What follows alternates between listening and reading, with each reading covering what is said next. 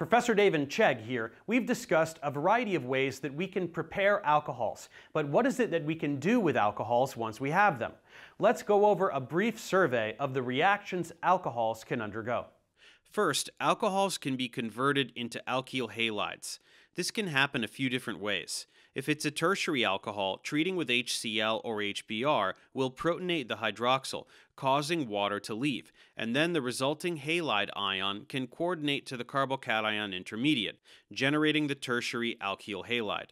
Primary and secondary alkyl halides are more easily converted by using reagents like PBr3 or SOCl2, which will replace the hydroxyl with a bromo or chloro group respectively, with inversion of stereochemistry via SN2 reaction. Alcohols can be converted into tosylates by reacting with tosyl chloride. The purpose of this is to turn the hydroxyl into a good leaving group, as the carbon bearing this group is now susceptible to nucleophilic attack. This is useful if we want substitution to occur with only one inversion of stereochemistry as opposed to two, if preparing the alkyl halide on the way to some other final product. Next, we have dehydration. This is typically done with acid catalyst and qualifies as an elimination reaction, meaning an alkene will be the product. The mechanism can vary.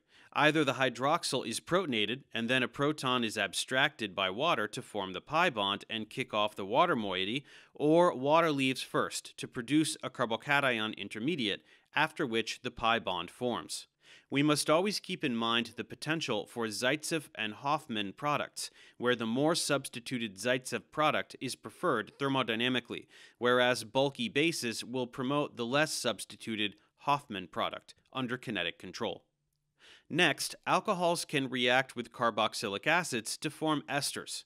This can be done in a single step using strong acid and heat, where something like methanol can coordinate to the carbonyl carbon, kicking off the hydroxyl and then deprotonating to give the methyl ester.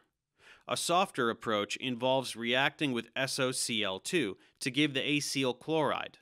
The enhanced reactivity of the acyl chloride over the carboxylic acid allows for reaction with methanol under milder conditions to give the ester by the same mechanism.